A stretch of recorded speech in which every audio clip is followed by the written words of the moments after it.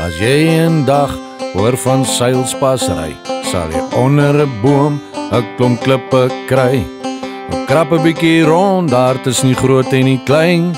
Op een van daai klippe staan geskryf Tokstein van seilspasse stof is in sy hande.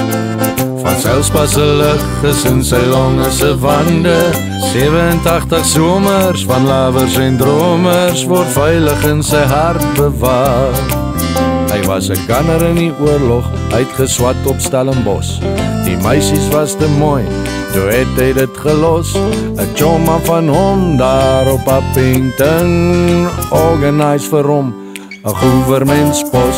Van seilspasse stof is in sy hande.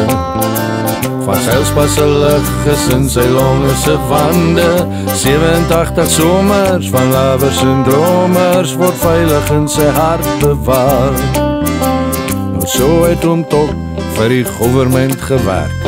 Voetbal gespeel en hy was Sondag in die kerk. Sy hart het iets gemis, ja, sy hart het punt getrek. Daar was klippe op van seilspas ongemerk. Van seilspas se stof is in sy hande.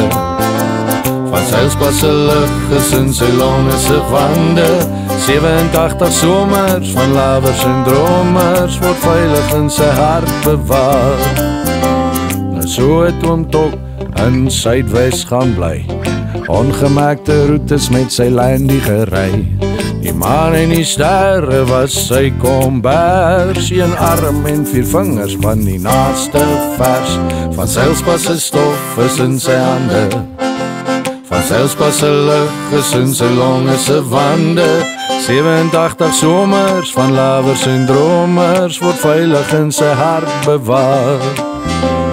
Eendag miskien sal 'n agterklein stein sy silhouet oor van seilspas verdwyn en onder by die boom met al die klippe daarom op die naam van sy agteroupa grootjie afkom. Van seilspas se stof is in sy hande. Van seilspas se lig is in sy longe se wande. 87 somers van lawers en dromers word veilig in sy hart bewaar.